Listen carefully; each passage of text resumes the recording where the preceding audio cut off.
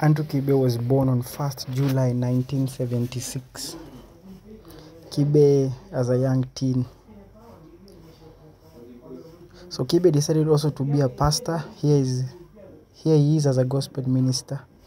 Here he is as a gospel minister advising Raila. Kibe still with Baba. Kibe as a pastor with Robert Burale.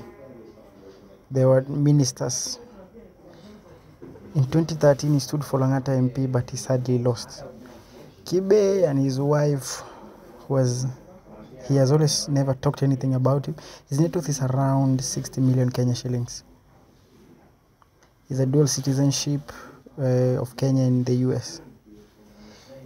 Kibe and his American bae, he has never disclosed her name. Thanks for watching. Thank you very, very much for watching. Please subscribe and follow our other videos. Thank you, thank you, thank you.